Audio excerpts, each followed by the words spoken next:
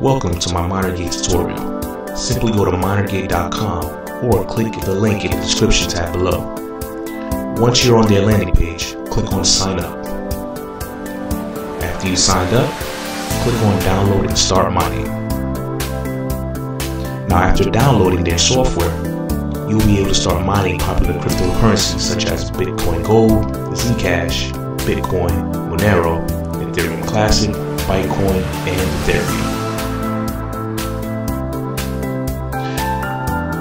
Get started, simply click on the Benchmark tab. The Benchmark tab will allow you to test your computer's speed for mining different cryptocurrencies. To get started, just click on Start Benchmark.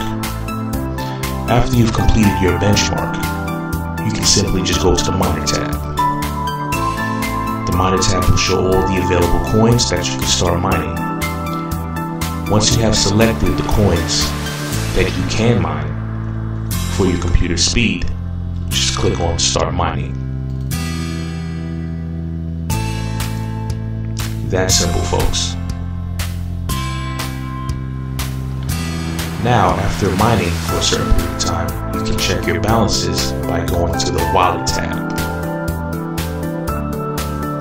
The Wallet tab will allow you to withdraw a certain amount of money that you've accumulated. Simply click on any crypto coin that you, that you would like to withdraw. Enter the address and enter the password from your minergate.com account. Then click on withdraw. The next tab I would like to show you is your achievements. If you're familiar with Xbox Live or PlayStation Network, your achievements tab is going to show your progress and all the rewards that you've accumulated from crypto mining. It's cool stuff. Well, there you have it, folks. If you have any questions, feel free to sound off in the comment section below. I hope you guys have a wonderful day. Thanks.